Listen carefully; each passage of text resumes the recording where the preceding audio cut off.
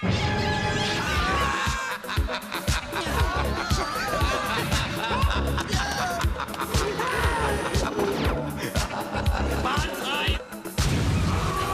Panik. Hallo Gruselfans. Sie versucht uns alle durch Hypnose in Zombies zu verwandeln. Unglaubliche Geschichten. Da ist eine Riesenameise. Sie hätte mich beinahe geschnappt. An. Dinge, die ihr noch nie zuvor gesehen habt. Aber man darf dafür nicht zu dünnhäutig sein. Also vergesst nicht. Keine Panik.